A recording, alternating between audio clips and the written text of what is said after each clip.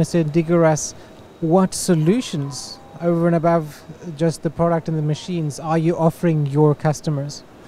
uh, from one side, uh, we are widening our product range, and not only that, but uh, we are especially integrating different technologies like multitasking machines in, in our product range.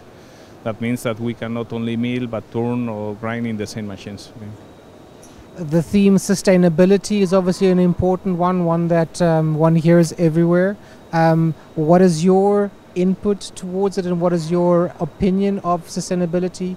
Is it something that is relevant at the moment? Yes, it is. Yeah. And that's the reason because we have joined the Blue Competence Alliance, uh, and one of the examples is the machine we have here, uh, where uh, we have saved around 20% of costs for the production and for the use of, of the machine to our customers.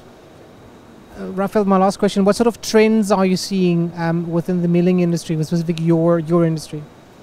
Well, mainly machines are coming uh, more fast and faster, and they are integrating different uh, technologies and different operations in the same solution. Mm. This is uh, is being more and more demand every day.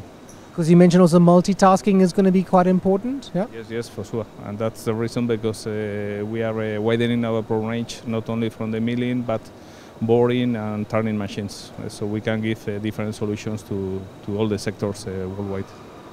Rafael, thank you so much for your time. We wish you all success. Okay, thank you.